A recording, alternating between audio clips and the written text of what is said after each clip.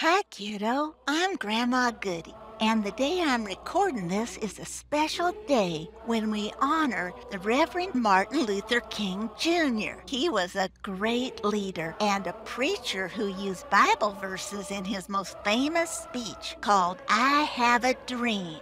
He led a march to change the way black people were being treated very mean and to change unfair laws and call people of all races to treat each other equally and with respect and love. And he protested against racism. I'll tell you what that is. But first, I want you to hear a little bit of that famous speech where Reverend King spoke about his dream for children like you. Because I have a dream.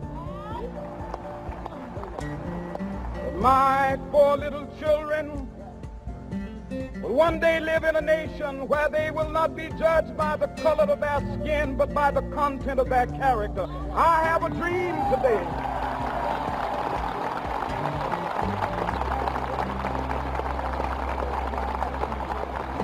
Is race and racism?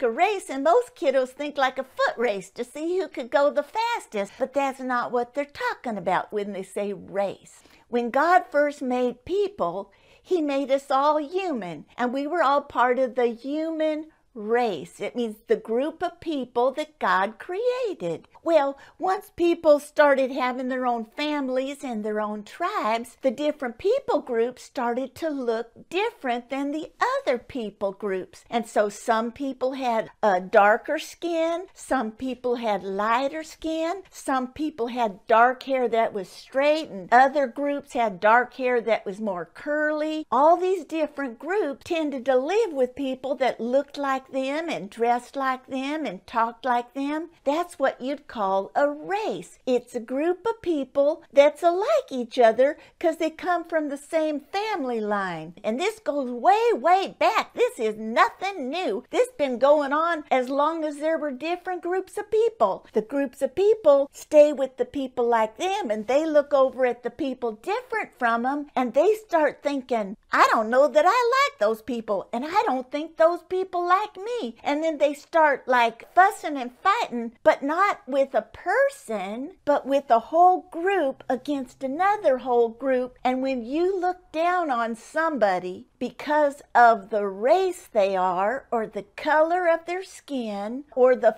people group or the tribe they're part of, that's called racism. I'm going to tell you a story that Jesus told. He makes a hero out of someone who was the most hated race of people in his neighborhood. Uh, I recorded it a while back as a bedtime story, so that's why Grandma Goody's wearing her nightgown. So one day, this expert in the religious law came to Jesus. So he said to him, Rabbi, what do I have to do to inherit eternal life? Jesus said to him, Now you're a teacher of the law. How do you read it? And the man uh, probably straightened up and felt very important because he liked to be teaching people about the law of God. And so he gave this answer. You should love the Lord your God with all your heart and all your soul and all your strength and all your mind and love your neighbor as yourself. Now, he would have been fine if he had stopped right there, but he didn't.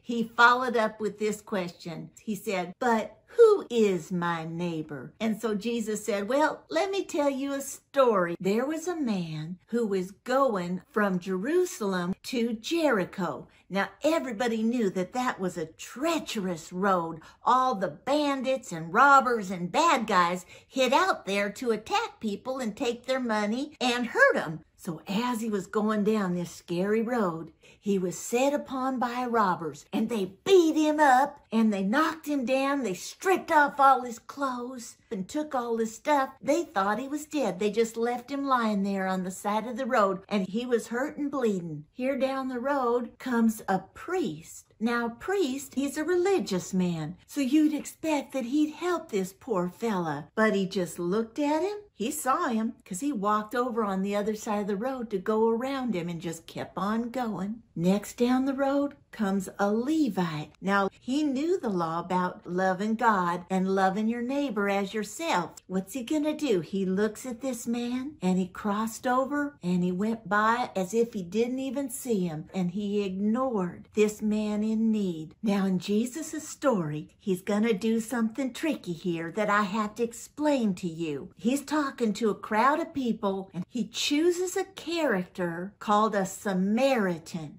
Now, in their community, the religious people taught them that the Samaritans were the people you were supposed to hate. You were allowed to hate the Samaritans. In fact, the religious people were proud that they hated the Samaritans. So Jesus picks this character to play a surprising role in his story. And now this hated and despised Samaritan comes down the road with his donkey and he sees this poor fellow laying there bloody and bruised. And the Samaritan looks at him and he takes pity on him. He goes over and he bandages up his wounds and puts oil on it to make it feel better. And then he picks him up gentle like and he puts him on his own donkey and he gently takes him to an inn where he could be protected and taken care of. Now he takes his own money and he gives the innkeeper enough money to pay for caring for him for a few days and he tells him, Would you please take care of this poor man? I will come back and take him with me. And if he if he costs you any more than that, I'll give you extra money to pay for his care. And then Jesus asked the man who asked him the question first, he said, Now, which of these three would you say was a good neighbor to that man? And he answered and said, well, the one who showed him mercy. And that mercy was that gentle care. Jesus said, You go and do likewise. But what should we learn from this story? God loves people of every race. But racism causes people to hurt other people or not to show mercy. So racism is wrong. God commands us to love one another the way He loves us. So we should love our neighbor the way we want to be loved ourselves. So, in honor of Dr. King and Jesus, let's treat all people equally and try to love our neighbor as ourselves.